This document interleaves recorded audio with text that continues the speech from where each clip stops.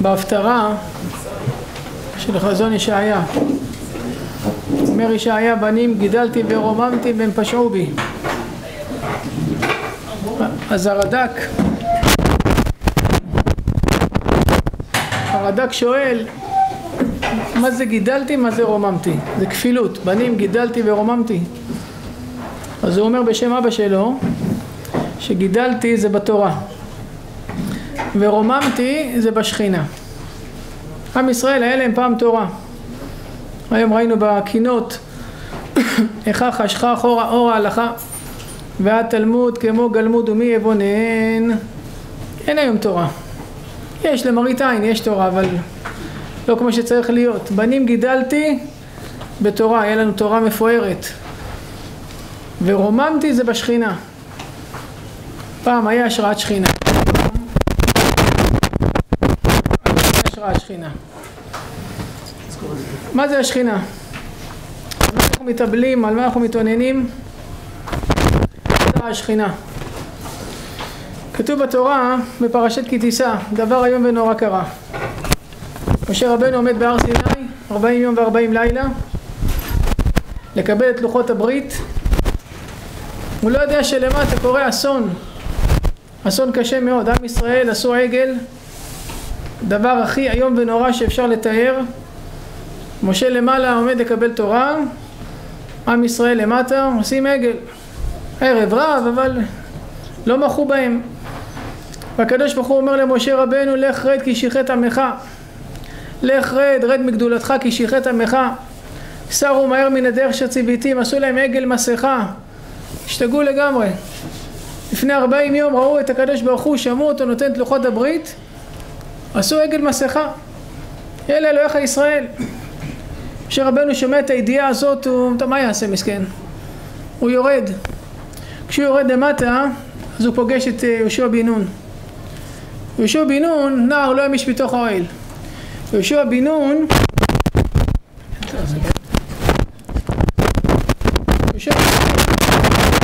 נער לא ימיש בתוך האוהל. יהושע בן נון לא יודע מה קורה למטה הוא היה תלמיד נאמן למשה רבנו. כל הזמן לא זזה ידו מתחת משה רבנו. הוא לא יודע שלמטה יש אסון. הוא חושב עם ישראל כנראה שמחים, מתן תורה. כשמשה רבנו יורד ליהושע בן נון אז יהושע בן נון אומר למשה ויאמר יהושע אל משה כל מלחמה במחנה יש כנראה למעלה מלחמה שאולי דברים לא טובים.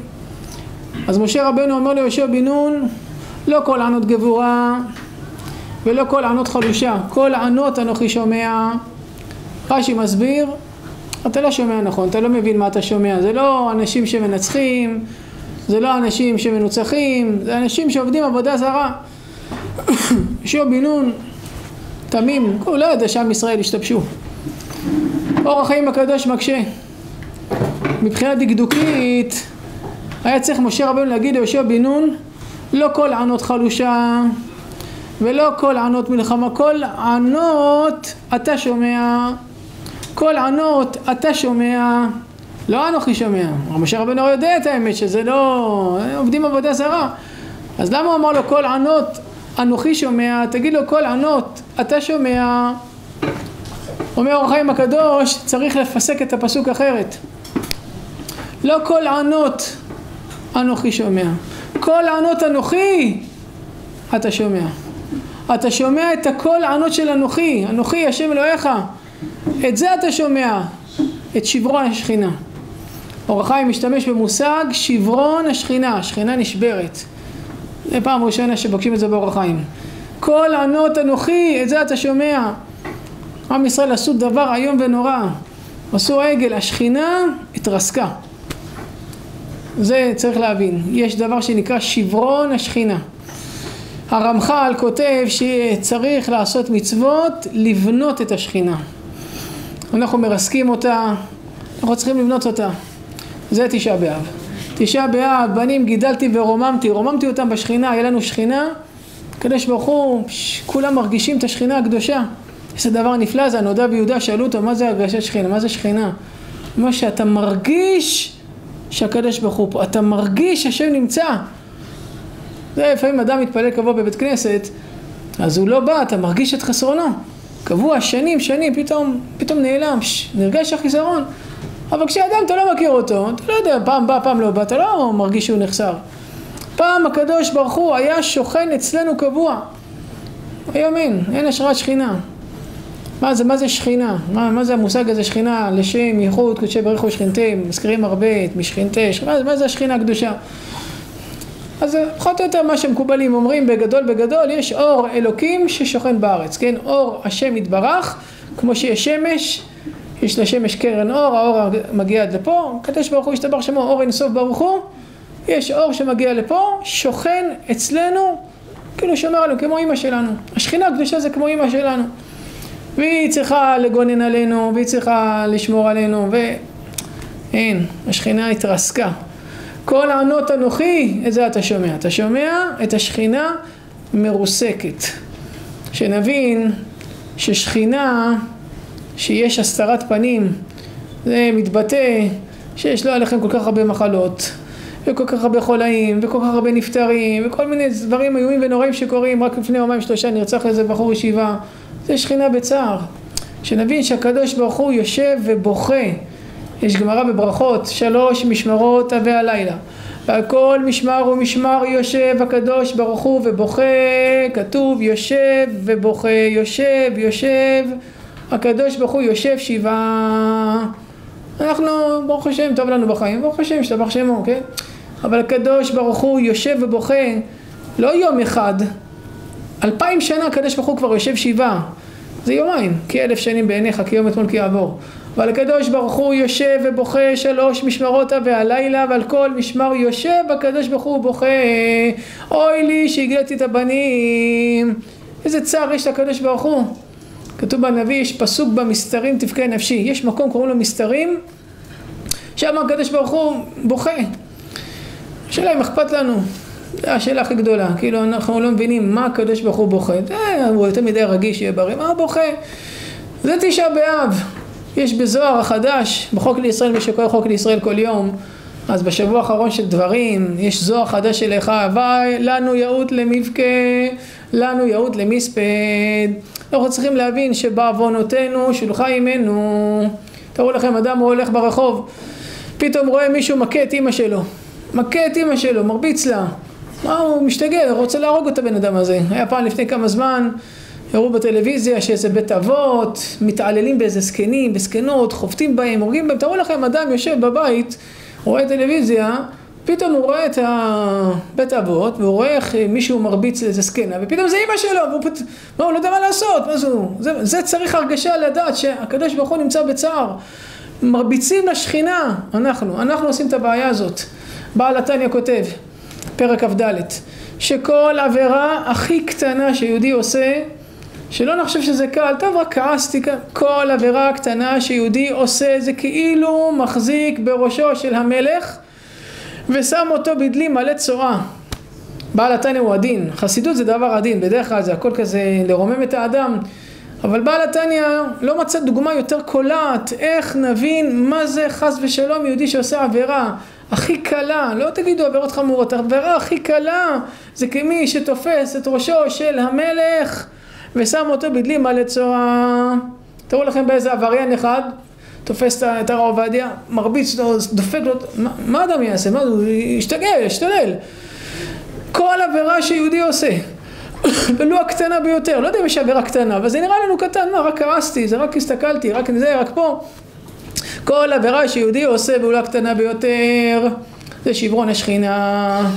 אז זה לא רק עם ישראל שעושים את העגל, העגל זה הסמל, כאילו, אבל שאדם לא יעשה עבירות, שאדם לא יעשה עבירות. אנחנו צריכים לעשות אגודה למען השכינה. יש אגודה למען החייל, יש אגודה למען הסטודנט, יודע? אגודה למען השכינה כי מסכנה השכינה, פשוט חרם עליה. אף אחד לא אכפת לו, באמת, זה משהו מזעזע, אף אחד לא אכפת לו על השכינה. צדיקים כל הזמן חושבים על השכינה. אני זוכר פעם לפני הרבה שנים הכניסו את דרעי לכלא, לפני הרבה שנים, זה היה, זה היה בגימל באלול, לפני עשרים שנה, משהו כזה, הרב עובדיה עדיין היה חי, ובלבן שמוצאי שבת, במוצאי שבת זה היה בדיוק למחרת יום ראשון ג' אלול. אז הרב ביקש שכולם לבוא לכלא מעשיהו ולהפגין ולהזדהות ולצעוק וזה, טוב הרב אמר בנו, מה... לא חשבנו פעמיים, באנו, היינו מתחת לשמש, שמש יוקדת, וככה מ-10-11 בבוקר, ובאו רבנים, ועצרות, וצעקות, ומחאות, וכל הרבנים צועקים איזה עוול נעשה ואיזה עוול נעשה. ככה עד ארבע, ארבע בצהריים. בארבע בצהריים, האחרון הדוברים היה הרב דוד בצרי. הרב דוד בצרי, פעם הייתי אצלו, הוא צאצא של הרב פתאיה, צדיק, צדיק, צדיק. היה אחרון הדוברים. והוא לקח איתו ספר תורה קטן כזה, הביא אותו לדרעי שהכניס אותו לכלא, תפס את המיקרופון, שתי מילים צעק, שכינה בצער. התפעלתי מאוד, זה מה שהוא חושב, זה מה שהוא מרגיש. הבנתי מה ההבדל בין צדיקים לבינו. אנחנו, וואי, צועקים על הממשלה, צועקים על המדינה, צועקים על המשטרה, וכואב לנו ואיך... הוא, הוא רואה אחרת, הוא רואה שכינה בצער. אנחנו מצטערים להודיע לכם על פטירתו של מרן הרב עובדיה יוסף בן גורג'י, כולם צועקים, זה שכינה בצער. כל הצדיקים שנפטרים, הרב יורם פתאום נפטר בגיל 58, והרב ההוא, והרב אלישיב, והרב מרדכי אליהו, וכל הרבנים ונפטרים, זה שכינה בצער.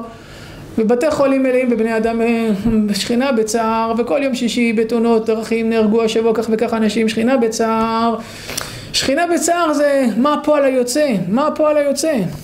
איך הפועל, מה, זה, זה, זה צריך לחשוב בתשעה באב, 24 שעות כאלה מיוחדות, איך אנחנו גורמים להקמת שכינתה מעפרה. איך אנחנו גורמים לשכינה להתעלות, לחזור כביכול כמו שאישה רוצים להחזיר אותה לבעלה. רבי חיים פלאג'י אומר, אם היינו יודעים כמה הקדוש ברוך הוא מתגעגע אלינו, איי איי איי, כמה הקדוש ברוך הוא מתגעגע אלינו, יותר מאשר אבא מתגעגע לבן עובד, יותר מאשר אישה עגונה מתגעגעת לבעלה. היה פעם גלעד שליט, תשאל את אבא שלו באותם חמש שנים שהיה נהדר, מה אבא שלו מה עשה? הפך עולמות. מה הוא רוצה את הבן שלו? זה הבן שלו, רוצה את הבן שלו. אפשר להבין כמה געגוע יש לאבא הזה? כמה האימא רוצה את הבן שלה בחזרה, לחבק אותו, לנשק אותו, את הבן העובד? אפשר להבין כמה אישה שבעלה נעלם, אשתו של רון ארד וכל הנעדרים של צה"ל, כמה האישה מתה שבעלה יחזור, אומר רבי חיים פלאג'י, יותר מאשר אישה מתגעגעת לבעלה שנאבד, ויותר מאשר אבא מתגעגע לבן, יותר מזה הקדוש ברוך הוא מתגעגע אלינו, אבל אנחנו לא מתגעגעים אליו. ככה אומר רבי חיים פלאג'י, אנחנו לא מתגעגעים אליו. אומר, אני מבטיח לכם, אומר רבי חיים פלאג'י, יום כיפור, נגמר הצום, לא לצאת מבית הכנסת. נעשה הפגנה, נסגור את הדלתות של בית הכנסת, ואומרים לקדוש ברוך הוא, שלנו אנחנו עושים הפגנה. אם אתה לא מביא את המשיח עכשיו, אנחנו לא פותחים את הצום. אתה רוצה שנמות? זה הבעיה שלך. אם נעשה את זה יבוא משיח. אמר רבי חיים פלאג'י, עכשיו, מחר נתחיל, אני רעב, עצמתי, אף אחד לא אכפת לו מהקדוש ברוך הוא, אף אחד לא אכפת לו מהקדוש ברוך הוא, כל אחד אכפת לו מעצמו, בסדר, צמתי, תשעה באב, איך היה הצום, היה דווקא נחמד, מזגנים, עניינים, אתה יודע מה, כל שנה ככה על הכיפאק, יוצא שבת וזה, איזה צום סבבה היה, זה, זה רצון השם. שברון השכינה, אומר אור חיים, יש דבר שנקרא שברון השכינה, השכינה מרוסקת, השכינה מסכנה, אומללה, צריך להרים אותה. יש שיר של רבי יצחק אבוחצירא, אהופה אשכונה וארחיקן, זה, זה שיר על השכינה, אנחנו שרים את זה, עושים מזה טראנס כבר, זה, זה לא אמור להיות ככה. זה אמור להיות שיר של בכי שהקדוש ברוך הוא מסכן, אסור להגיד את המילה מסכן. הרמק, רבי משה קורדובר, הוא כותב בתום דבורה, שאיך המלאכים קוראים לקדוש ברוך הוא? מלך עלוב, יאללה, מלך עלוב, איזה בושה וחרפה. כן, הוא עלוב. מסכן הקדוש ברוך הוא, מת לגאול אותנו, אבל כביכול הידיים שלו אסורות, כן, אין חבוש מתיר עצמו בית האסורים. זה לא הוא, הוא, הוא, מחכה לנו, הוא מצפה לנו, מתי אנחנו נעשה פעולות? לגאול את הקדוש ברוך הוא. איך אנחנו נגאל אותו מהבית הסורים שהוא נמצא? זה מה שהרב שכטר אמר, מנחם אב לנחם את האבא. אבא שלי ישב שבעה לפני הרבה שנים, נפטר, עליו השלום. אבל כש, כשהוא ישב שבעה על אח שלו, אז uh, הוא היה בבית, יושב שבעה.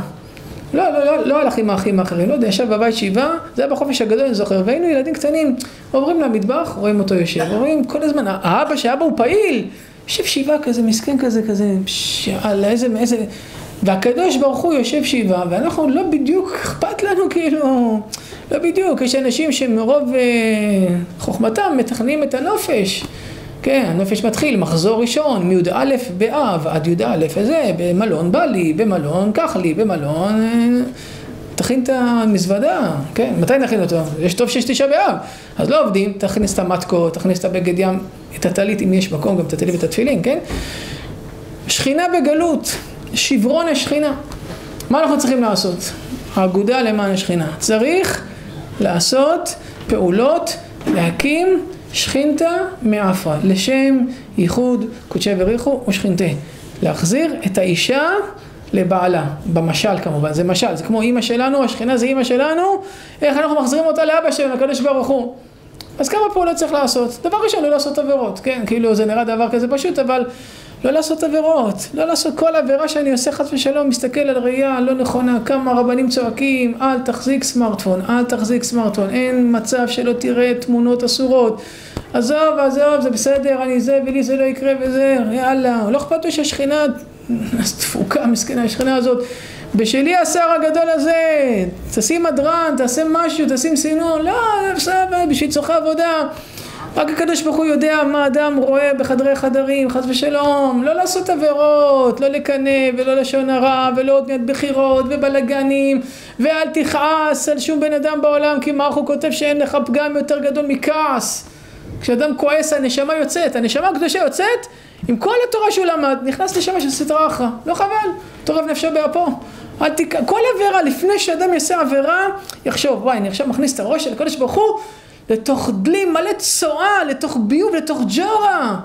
לא רוצה לעשות עבירות, לא רוצה לעשות עבירות, נהיה בוגרים, יראת הרוממות, יראת הרוממות, יש יראת העונש, אה, יראה של אנשים קטנים, הרמב"ם כותב, זה יראה של אנשים קטנים, של ילדים קטנים, אל תעשה תקבל עונש, לא, צריך להגיע ליראת הרוממות, פעמיים, אולי שלוש פעמים זכיתי בחיים שלי לשבת ליד הרב עובדיה, מילימטר לידו, ככה, מילימטר לידו, פעם איזה בחירות, פעם איזה ספר שרציתי להוציא, מילימטר לידו, בוא שב, ישבתי לידו, את האמת אני אומר לכם, פחדתי, לא יושב לי כאפה, אני יותר זרז ממנו, כאילו, זה הרב עובדיה, מרן מלכה, וואי, זה כזה יראת הרוממות, ככה צריך מהקדוש ברוך הוא, לא לעשות עבירות, לא בגלל שאני מפחד מעוז עונש, אנחנו לא ילדים קטנים, לא רוצים לצייר את הקדוש ברוך הוא, לא רוצים שהשכינה תמשיך להתפלש בבוץ, מסכנה השכינה שלנו, להקמת שכינתה מעפרה, זה דבר ראשון, דבר ראשון, לברוח מעבירות, לברוח מעבירות, שאדם יהיה בוגר בשכלו, לצמצם כמה שאפשר את העבירות.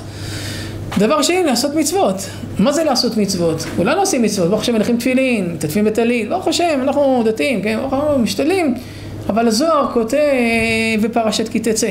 שואל הזוהר, כתוב בגמרא, שאם עם ישראל לומד תורה וגומל חסדים זה כאילו פדעני לי ולבניי מבין אומות העולם. אז הזוהר אומר, תראה כמה שנים לומדים תורה וכמה שנים עושים חסדים, לכו לבני ברק, רשימה של גמחים, גמח מוצצים, גמח הרסלות, גמח לולים, גמח אוכל, שבת ח... מלא גמחים, גמח. אז למה לא בא המשיח? איפה המשיח? אומר הזוהר, אני לא מבין, ישראל לומדים תורה, כן, ישראל גומלים חסדים, כן, אז למה, למה אין גאולה? כאילו גאל אותי ואת בניי מבין אומות העולם, הקדוש ברוך הוא אומר. אז אומר הזוהר, לא הבנתם, לא הבנתם את חז"ל, מה אתה חושב שלגמול חסדים זה הכוונה גמח של מוצצים וגמח של זה? זה טוב, כן, אבל זה לא העיקר, אלא איזה הוא חסיד המתחסד עם קונו, גמילות חסדים זה לעשות עם הקדוש ברוך הוא חסד, תעשה איתו חסד עם הקדוש ברוך הוא, וזה גם תמוה, אפשר לעשות חסד עם הקדוש ברוך הוא, חסד עושים עם אדם שחסר לו, צדקה נותנים לעניים, ביקור חולים, אדם חולה קובר מתים, ניחום אבלים, זה עושים עם אנשים שיש להם חיסרון, לעשות חסד עם הקדוש ברוך הוא, צריך להגיד, כתוב בתיקוני הזוהר, איזה הוא חסיד המתחסד עם קונו. אלא מה הפירוש? אומר הזוהר, אתה עושה מצוות, יישר כוח, אתה מניח תפילין, כל הכבוד, אתה מתעטף בציצית, סעודה שלישית, סעודה רביעית, אתה עושה מצוות, שלוש מילים תכוון, הקמת שכינתה מעפרה. את המצוות שאתה עושה, אתה כבר עושה מצוות, תרום אותם למען השכינה הקדושה. זה נקרא גומל חסד עם קונו. כי אני לא חייב לעשות את זה, לא חייב, אני יכול לעשות מצוות, כי השם ציווה, ואני רוצה גן עדן, שילדים יהיו בריאים, יחזרו בשלום מן ההסעה, זה ככה, זה אני יכול. לא, הזוהר אומר, תתבגר קצת, תעלה ברמה. תכוון את המצוות שאתה עושה להקמת שכינתה מעפרה, זה נקרא גומל חסד עם קונו, אם זה נעשה, אנחנו גואלים את הקדוש ברוך הוא מהצרות שיש לו, בכל צרת נוצר. פעם הרב עובדיה אמר, כתוב, אנחנו אומרים בהלל, מן המצר קראתי יא ענני במרחביה, מה פירוש?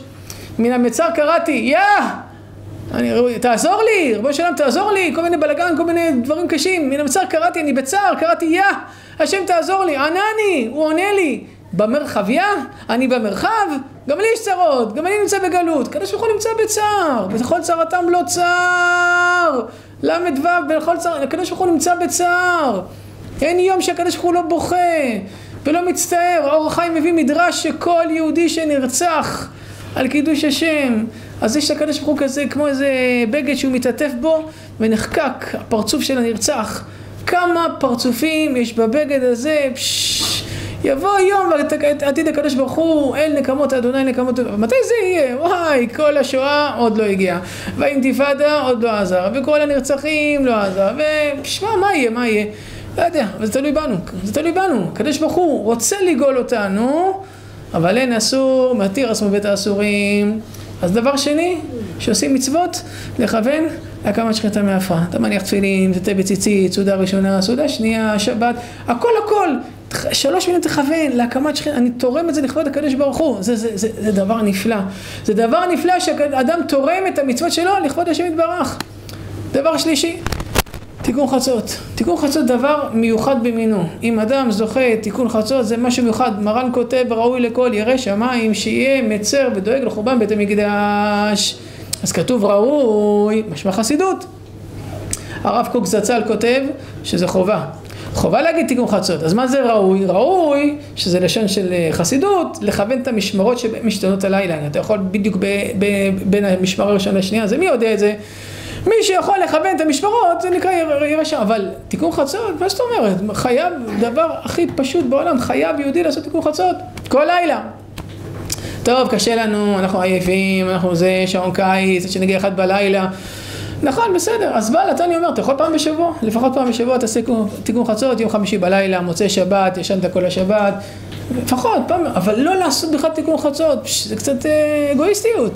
רבי חיים פלאג'י אומר, אדם נמצא בחתונה, חתונה, כולם רוקדים, כולם שמחים, מגיע אחד בלילה, תפרוש מהאנשים, לך לצד, קח כיסא, תגיד תיקון חצות, אתה קודש קדשים. כי עכשיו הקדוש ברוך הוא בצער, כולם רוקדים, כולם שמחים, אבל הקדוש ברוך הוא בחצות נמצא בצער, עושה קריאה. אז אני רוצה להשתתף בצערו, לא יושב על הרצפה. אם יושב על הרצפה זה יוהרה, איזה צדיק, יושב על הרצפה באמצע החתונה. צריך, רבי חיים פלאג'י אומר לא חייב לשבת על הרצפה. בכלל, בתיקון חצות זה חסידות לשבת על הרצפה. אתה יכול לשבת על כיסא, שב בצד תגיד תיקון חצות, או בבית. אתה נמצא בבית, למה לא להגיד תיקון חצות פעם בשבוע, אם אדם יכול כל לילה, כל לילה. היום בלילה, אוי ואבוי אם אדם לא יגיד. אתה כבר ער, אם אדם ישן, ישן. אבל אם אדם ער היום בלילה, מגיע עשרה לאחד בלילה, קח את הסידור, שב על הרצפה, גם ככה שב על הרצפה, אי אפשר לשבת על כיסא עד מחר בחצות, בחצות יום, תפתח תיקון רחל, יאללה זכור אדוני מהי עלנו, הביטה הורי את חרפתנו, אה, תגיד כל מילה, כל פסוק, תחשוב מה היה בשואה, מה עשו בשואה, מה עשו באינקוויזיציה, קשה לנו לתאר בית המקדש. יש במסכת גיטין, שם התיאורים היו, טוב לא ראינו את זה, אף אחד לא תיעד את זה. בסדר, לא צריך לתעד, תראה מה עשו בשואה, תראה מה עשו בשואה. מי שרוצה קצת להבין מה היה בשואה, יפתח מעם לועז, מעם לועז על מגילת איכה, בסוף יש סיפורים מצמרים על השואה. אתה לא מאמין שעשו ככה לעם ישראל, לא מאמין מה עשו לנו, כן? באינקוויזיציה וחלמניצקי וגזרות תח ותת. בספר מעם לועז, על איכה, יש בסוף סיפורים שאדם יחשוב, הביט ההורה מה היה לנו, איפה הגל, איפה, מה, מה לא עשו, מה הסבונים עשו מאיתנו, מה תקעו, מה לא עשו, שכ... זה שכינה בצער, סתרת פנים כזו אימה ונורא, אשרי האדם זוכה לעשות תיקון חצות כל לילה. אשרי האדם זוכה לפחות פעם בשבוע, גם מי שיכול לעשות תיקון חצות, קל אשתך בואי שבי, שבי לידי, בואי נגיד תיקון חצות, יש מחלוקת, בן איש חי אומר לא שייך, מה אישה תגיד תיקון חצות, זה לא שייך תיקון חצות, כף החיים אומר למה? למה? האישה זה בעצם המייצג של השכינה בבית. היא גם יכולה לעשות תיקון חסות. הרב עובדיה אומר הלכה כמו כף החיים. אפשר לעשות, למה לא? אבל לא לעשות בכלל, כאילו, בכלל, בכלל, בכלל זה לא במודעות של האדם, חבל. כי עוד פעם, אנחנו רוצים לעזור לשכינה לעלות למעלה. הדבר המרכזי זה תיקון חצות. אם אדם עושה תיקון חצות, כתוב בספרים שהשכינה לאט לאט עולה. כל פעם בחצות האלה יש לה קצת עילוי, עולה, עולה, עולה, עולה. עכשיו היא מסתכלת, מי, מי, מי מקונן איתי על החורבן? מי יושב עכשיו על הרצפה? אפי יושב איתי, אבי יושב איתי, גואטה יושב איתי, חיים יושב איתי, היא רושמת את השמות שלהם, עולה למעלה, רבונו של עולם, תעזור לאפי, לאבי, לגואטה, ל... כי הם, אכפת להם ממני, אני אכפת להם, אכפת לי מהם, זה אימא שלנו, אימא שלנו, זה השכינה הקדושה, כן? אז אפי, אז הנה, עוד דבר שאפשר אם אדם רוצה, כדי לשמח את הקדוש ברוך הוא, לפחות פעם בשבוע בני נדר, תיקון חצות. שעון קיץ קשה, יש שעון חורף יותר קל, 11 וחצי, חצות, אתה יושב, אפשר עוד פעם, אפשר על כיסא, לא צריך על רצפה, לא צריך אה, לעשות יותר מדי טררם, יותר מדי שופוני, גם כן לא טוב. שב, תגיד תיקון חצות, זה לוקח עשר דקות, תיקון חצות, זה לא, לא, לא, כלום, לא כזה מסובך. אתה הולך לישון, ברוך השם, עזרתי לקדוש ברוך הוא לפדות את עצמו. אז דבר ראשון, מי שרוצה להתקבל לאגודה למען השכינה, לא לעשות עבירות, נכון פשוט? דבר שני שעושים מצוות, לכוון להקמת שכינתה מאפרה, איזהו חסיד המתחסד עם קונו. דבר שלישי, תיקון חצות, אם אדם יכול לעשות, פש, נפלא, נפלא, נפלא, גדול מאוד מי שעושה תיקון חצות, איזה מעלות יש לו, כמו פדיון נפש. תדעו לכם, תיקון חצות עדיף על תפילה בנץ. תיקון חצות עדיף על סליחות. תיקון חצות עדיף על הכל, גם לא ללמוד תורה. אם אדם לא לומד תורה, יש תיקון חצות, מגיע חצות, ממשיך ללמוד תורה.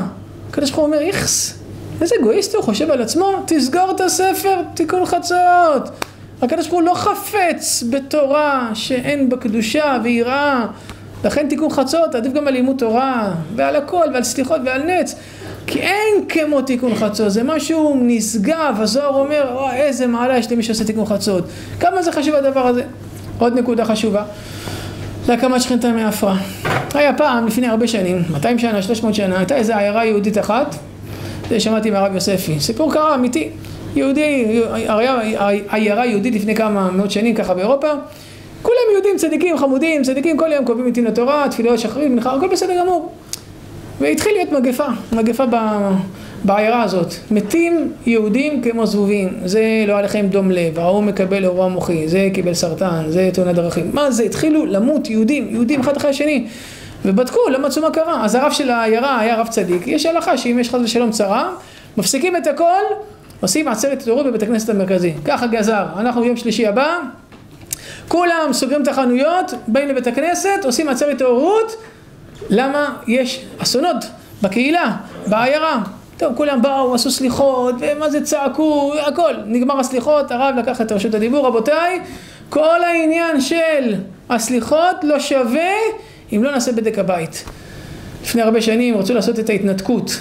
היה איזה ראש ממשלה רשע, אחד קראו לו שרון, שם רשעי מרכב, והרשע הזה הוציא, הוציא עצמות מהקבר לתת חלקים לערבים. אז לפני שהייתה התנתקות, אז אמרו לנו לבוא לכותל, כולם לבוא לכותל, כולם עצר התעוררו, זה, בעשרה באב קרה הניתוק. בעשרה באב הביאו כלובים, לקחו להם משהו מזעזע. אז לפני כן, איזה שבועיים, שלושה, ארבעה, עשו בכותל עצר התעוררות. כולם לבוא עם גדולי ישראל, הרבנים, הרב עובדיה היה והרב מרדכי היה, כולם היו שמה. ובאנו כולם, באנו כולם, זה היה צפוף, והיה פסוקים וזה. אבל דבר אחד היה חסר, לא קיבלו שום קבלה. זה מה שהפריע לי, כאילו לא קיבלו איזה קבלה, אנחנו קיבלנו לעצמנו. אמרתי, אין, התנתקות תהיה. אם לא קיבלנו קבלה, בסדר, קראנו תהילים, אני יודע מה, עשינו סליחות. הרב הזה אמר, צריך לעשות קבלה. רבותיי, יש אסון בקהילה, אנשים מתים כמו זבובים, ואנחנו לא יודעים למה, אז צריך לעשות בדק הבית. לכן, כל מי שיודע מה הבעיה, יבוא יגיד לי. אני גם לא יודע, חקרתי, לא יודע מה הבעיה. טוב, ככה התפזרה העצרת, התפזרו, כל אחד עשה חושבים, הגיע לילה, חצות לילה, מישהו דופק בדלת של הרב. אז הרב פותח זה, זה אחד מה, מהאנשים מהקהילה, שלום הרב, שלום עליכם. הרב, אתה אמרת להתבונן, אני אגיד לרב משהו, לא יודע, כן, קשור, לא קשור, זה הרב יחליט. יש לי מול הבית, אחד צדיק כזה, קוראים לו הרב אוירבך, קוראים לו הרב אוירבך, הוא צדיק כזה אוירבך הזה, ילד טוב, לא יודע, אבל כל לילה בחצות, אני, לא יודע, שומע, נפתח הדלת, אני עוקב אחריו, הוא יוצא מהבית, הולך ליער, חוזר בשלוש לפנות בוקר. לא יודע מה עושה, אולי גונב, אולי גוזר, הולך לנשים, לא יודע מה עושה. הרב יבדוק, זה מה שאני אומר, יאללה. טוב, הרב אמר, בסדר, בן אדם, בוא נבדוק. אמר לשמש שלו, בוא, אנחנו עושים עבודת בילוש, בוא נעקוב אחרי אויר בחזה, נראה מה הבן אדם הזה עושה. טוב, הלכו והסתתרו מאחורי איזה דלת, איזה, איזה עץ, איזה מקום, וראו שב-12 בלילה בחצות נפתח הדלת, ואותו חכם אוירבך יורד, יוצא החוצה, והם עוקבים אחריו בשקט, והוא הולך, הולך, הולך, יוצא מהעיר, נכנס למעווה היער, הם הולכים אחריו. ומתצפתים עליו ורואים שהבן אדם לוקח איזה מחצלת, שם על הרצפה ועושה תיקון חצות, אבל כזה מזעזע, בוכה וצועק, חבל על הזמן, הם צריכים לדפוק הלב, לא יודעים כזה צדיק, היום ונורא, שלוש שעות בן אדם עושה תיקון חצות. אנחנו עשר דקות דיברנו, עשר דקות ככה בלחץ, כן? הוא שלוש שעות, אוי לי, ואוי, כל אוי איזה וואי, מה שווה, חבל הזמן. פעם הבת שלי הייתה בכותל המערבי, עשתה שבת עם החברות שלה בכותל המערבי, והתפ... והיה ראש חודש, שבת ראש חודש, והם הגיעו לכותל המערבי בשעה ארבע בצהריים, היו בעזרת נשים, מאחורי המחיצה הרב עדס.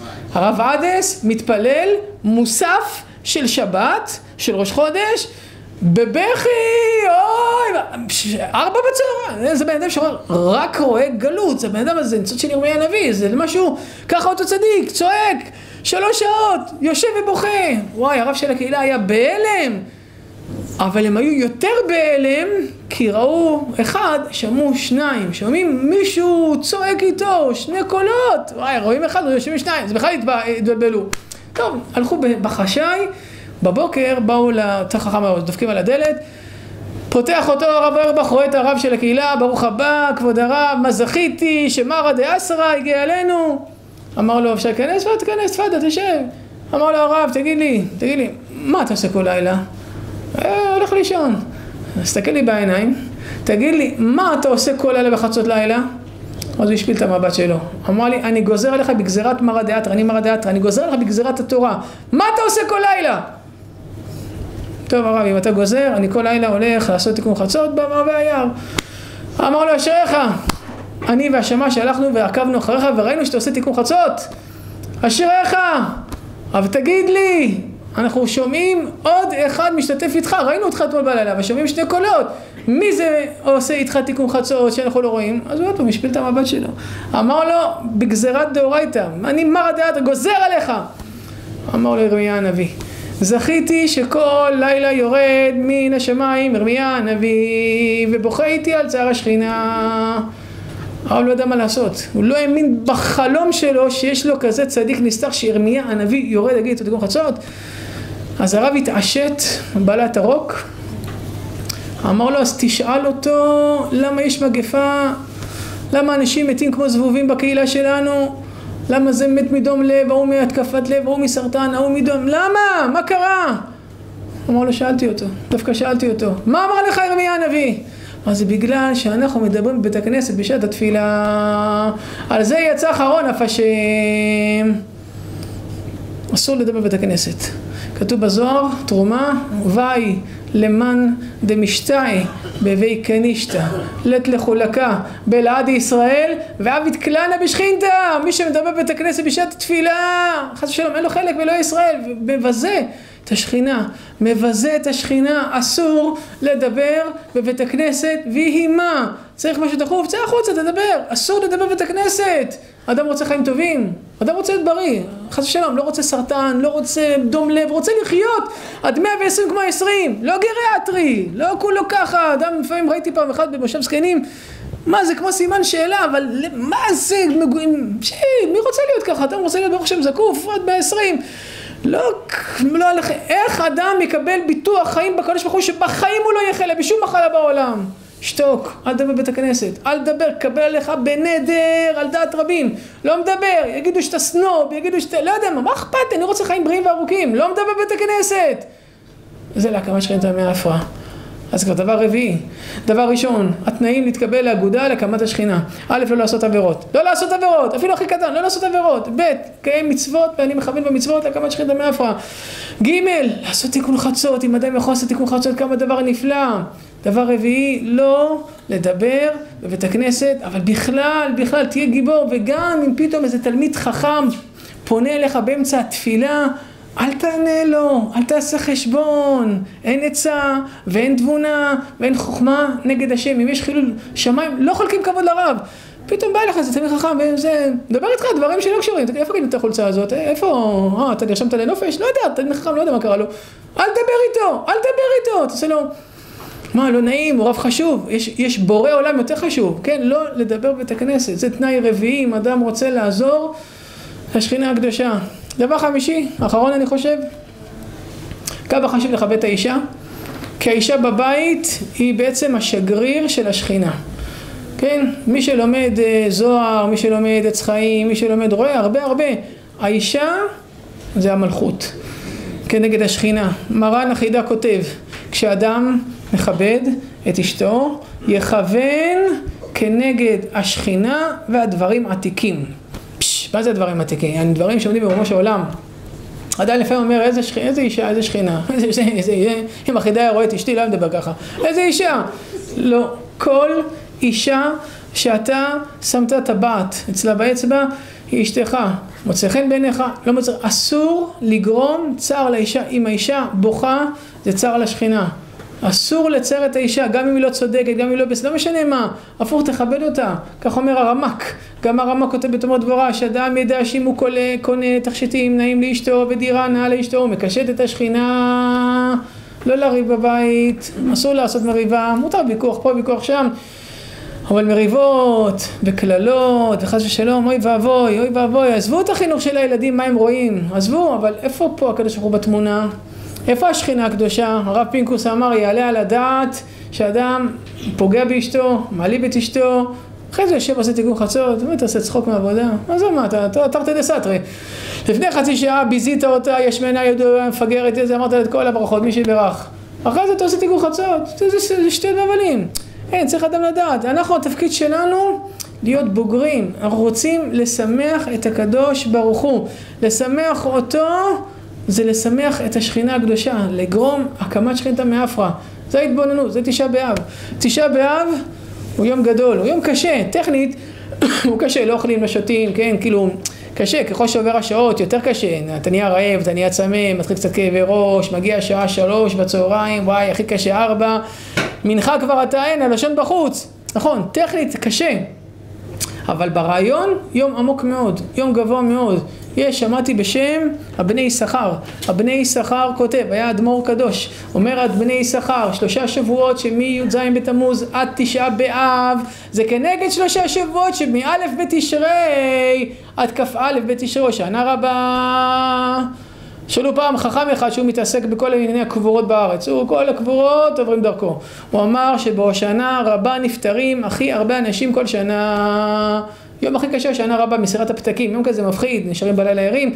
לא סתם, אומר הבני יששכר, שאם אדם בשלושת השבועות, אנחנו כבר סיימנו, אנחנו עכשיו נמצאים ב- ב- ב- בסוף, בתכלית.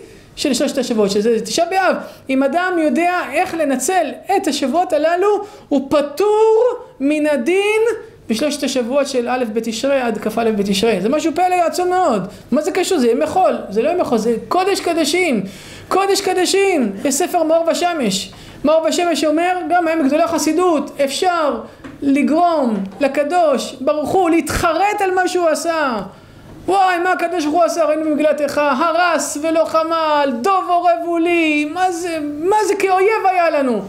הקדוש ברוך הוא אסור להגיד, אבל וואי, ירמיה הנביא אומר, מה עשה הקדוש ברוך הוא? בוא נגרום לו להתחרט, לגרום לו להתחרט לקדוש ברוך הוא. איך עושים את זה? אומר המור בשמש, רק בימים האלה אתה יכול לגרום לקדוש ברוך הוא להתחרט על מה שהוא עשה. כמובן הכל במקום זה משלי, אבל שנבין שהקדוש ברוך הוא כל כך מצפה מאיתנו, שנעזור לו אנחנו נעבור את, לא צריך, לא צריך לפחד מראש שנה, בטח ראש שנה אנשים מפחדים, יאללה מי יחיה? ומי ימות, ספרי מתים וחיים, לפניך נפתחים, מי יחיה? מי ימות, מי באש, מי במים, מי בכיסו, מי בקוצו, ונתנה תוקף, קדושת היום. וואי, מגיע ראש השנה, אימה וחרדה, יום כיפור, אדם בלחץ, מגיע ראש שנה רבה, הוא חייב לי יותר כל הלילה, אם לא יהיה לך שדה מושלים משנתו וכל מיני דברים. איך פותרים את כל זה? איך, איך אפשר לעבור את הכל בחיים טובים? הנה, תשעה באב, תשעה באב הזה. אם נשכיל כשאנחנו יושבים על הרצפה, נתחיל להתבונן, אתם יודעים, לא לומדים תורה בתשעה באב. לא לומדים תורה, אפילו אתה לא חייב ללמוד תורה בתשעה באב, אם אתה רוצה תלמד תורה רעה, כאילו ירמיה, אני יודע מה, קינות, הלכות אבלות, הלכות גסיסה, אבל הריטב"א כותב, לא חייב ללמוד תורה, לא חייב ללמוד תורה דברים הרעים, אתה רוצה אל תלמד. מה זאת אומרת, מחילה, רבנו הריטב"א, מה זאת אומרת, אדם יכול לא ללמוד תורה בכלל, רק אם הוא רוצה? הריטב"א אומר כן, ככה גם רבי יהודה אייש, ככה גם כף החיים, ככה גם ערך השולחן, ככה גם ערוך השולחן, אתה לא חייב ללמוד תורה, אז מה אתה רוצה שאני אעשה? תתבונן, שב על הרצפה, שכב על הגב, תתבונן. אתם רוצים עצה טובה? קחו ליקוטי תפילות של רבי נתן, ורק להתפלל ביום הזה, כי תורה... זה לא העניין, זה לא עניין ללמוד תורה. עכשיו, אדם לומד תורה, סך הכל הוא מתמלא עם ידע, נכון? זה משמח אותו, הוא לא יודע, הלכות אבלות, אני אחרי זה ייבחן בך שלמה, במוצאי תשעה באב, למה כבר, על הדרך כבר למדתי הלכות תשעה באב, למדתי, אה, יש פה איזה הנאה, כן, יש לי איזה נגיעה בזה. הריטב"א אומר, זה לא העניין, העניין להתאפק בקדוש ברוך הוא. איך נדבקים? התבוננות. טוב, לא יודע להתבונן, מה אתה רוצה להתבונן? טוב, תתפלל, קח את התפילות של רבי נתן, קח את התפילות של הרמח"ל, תתחיל להתפלל להשם. זה הקמת שכינתה מעפרה. אין לך דבר יותר נשגב מאשר ביום הזה אתה מתחבר ישר לקדוש ברוך הוא, בלי מתווכים, בלי שום דבר, הקדוש ברוך הוא מחפש בנרות מי כואב לו עליי. הרב פינקוס אמר, תיקח, תיקח כוס, תנסה, תנסה למלא אותה בדמעות. לא תמלא אותה בדמעות, אין אנשים בוכים בתשעה באב. הוא אומר, תיקח בכל העולם כוס, אין, אנשים לא בוכים, לא בוכים. לפני, לפני כמה שנים אמרו לי, תשמע, יש בירושלים, יש שם בית כנסת שושנים לדוד, שם עושים קינות ירושלמיות. אמרתי, אני חייב פעם בחיים לשמוע קינות ירושלמיות. אז אני צריך להיות שם מכניסת אה, תשעה באב. טוב, לקח שני אברכים, לקחו איתי, הגענו לשכונת הבוכרים בירושלים, בכנסת שושנים לדוד, הגענו משהו בחמש בצהריים. בכנסת סגור. עוד דבר מתפעלים, הבאתי פיתה עם חביתה, ישבנו על הרצפה, שם אכלנו, שם ישבנו, גם בכינו, עשינו ברכת המזון, אכלנו.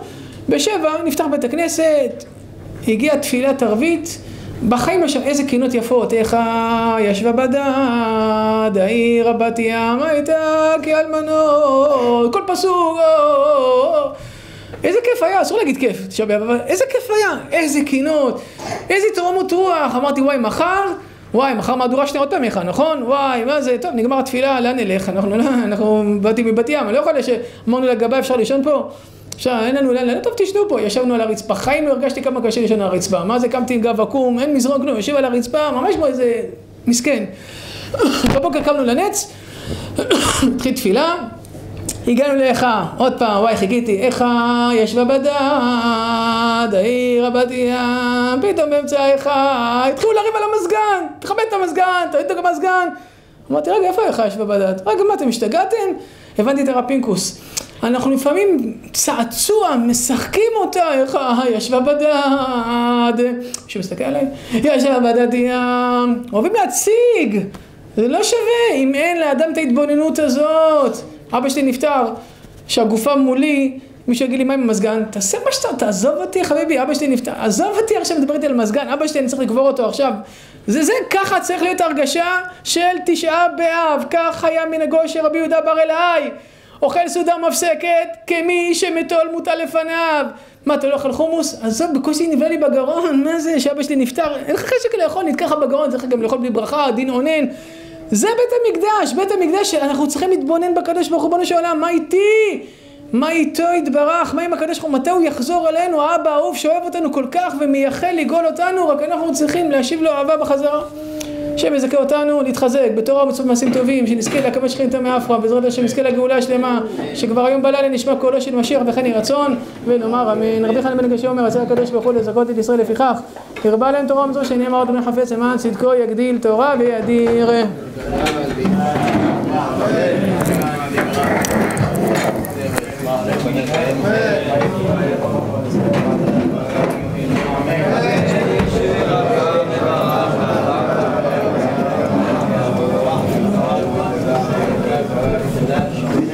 Amen.